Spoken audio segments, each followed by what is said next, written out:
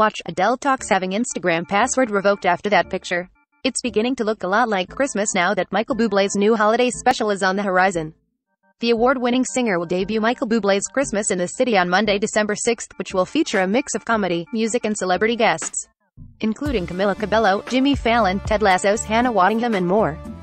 But how does the King of Christmas celebrate the holidays when he's not creating a festive project during this time of year?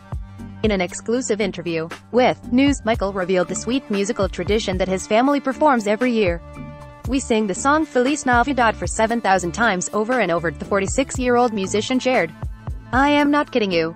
The Canadian native, who has been married to Argentinian actress Luisana Lopilato since 2011, also said that they combine each other's cultures during the Culturally, we're so different. In many of those Latin countries Christmas Eve is kind of more of the day. So the presents are opened on Christmas Eve and Christmas Day, he explained.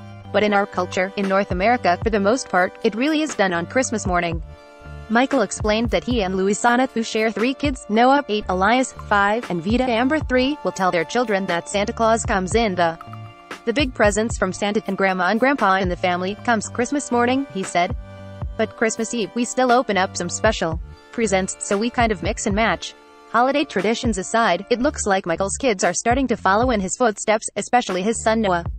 My kids are so into music, he told E! News, and I've never pushed them, but they all take piano lessons. My son co-wrote a song that's on my new record.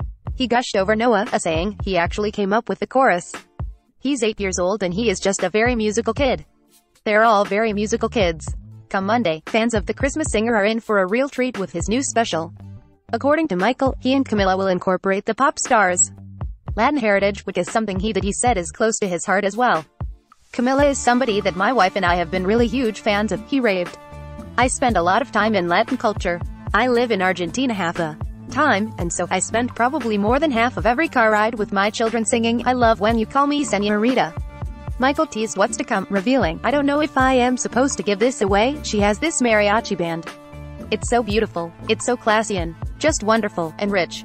Michael Bublé's Christmas in the City airs Monday, December 6th at 10 p.m. Eastern Time, PT on NBC. E! and NBC are both part of the NBC Universal family.